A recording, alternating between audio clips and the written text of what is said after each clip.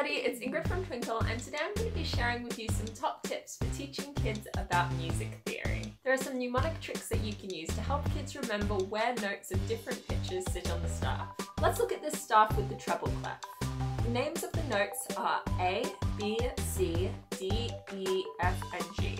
You can figure out where they belong on the staff using a handy mnemonic. Every good boy deserves fruit. To remember which letters match up to the spaces, remember FACE, F-A-C-E. Once you've labelled the lines and the spaces, you will be able to identify what each note is, depending on where it sits. With the bass clef lines, you can label them in the same kind of way, but with different notes.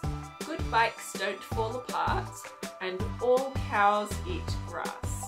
We also have flashcards to help students recognise where different notes are on the piano and the staff so take a look if you're interested in that.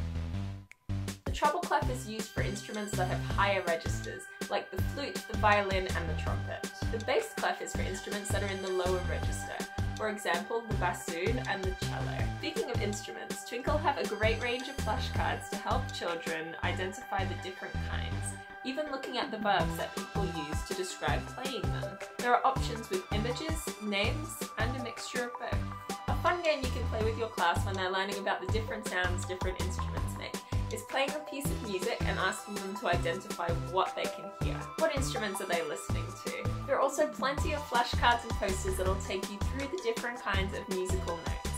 These can help students understand how many beats notes last for and give them the skills to read music and understand rhythm.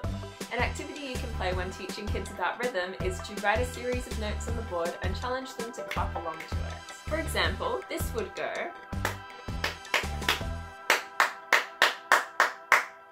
also assign sounds to the different kinds of notes so you can read them out with the class and make them easier to remember. Ta, ti, ti, ta, ti, ti, ti, ti, ti, ti, ta. And that's all our suggestions for now. I hope you have a great time diving into the wonderful world of music with your students. Thank you so much for watching and remember if you'd like to use any of the resources shown in this video, they're all available on the Twinkl website. Have a lovely day.